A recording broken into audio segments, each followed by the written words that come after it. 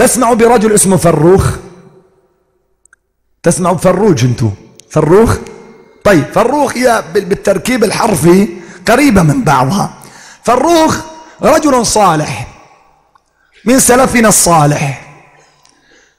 يوما من الأيام بينما هو مع زوجته متزوجها جديد وحامل بولد عم ينتظر بفارغ الصبر. زوجته حامل. مسرور جالس مع جلسة أنس. وإذا بالمنادي ينادي يا خيل الله اركبي. يا خيل الله اركبي. مو الأمريكان إجوا على المدينة هو كان من سكان المدينة المنورة. مو لأن الأمريكان وصلوا المدينة. يا خيل الله اركبي. يريدون أن يغزوا أرض الصين.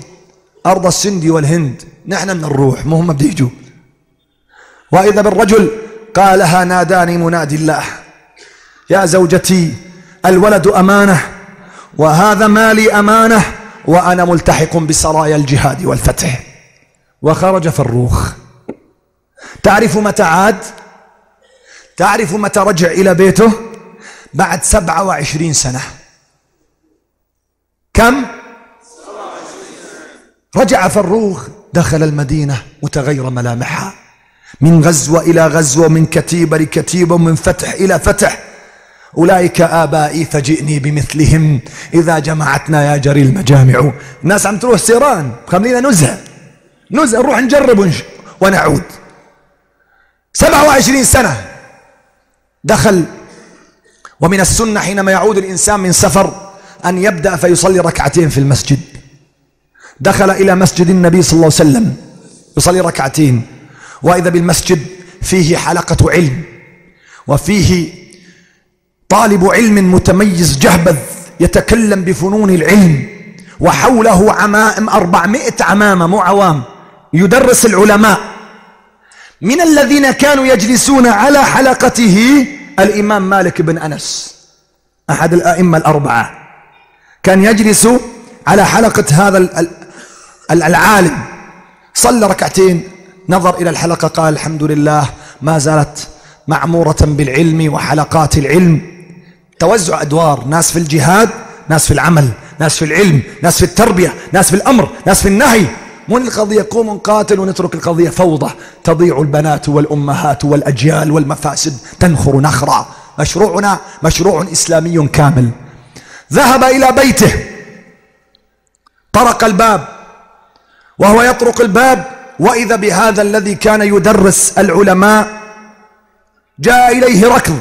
يقول له يا أيها المجرم أتقتحم حرمة بيتي? وفروخ يقول له يا أيها المجرم أتقتحم حرمة بيتي؟ فتصارعا. فسمعت زوجة فروخ النداء فعرفت صوت زوجها.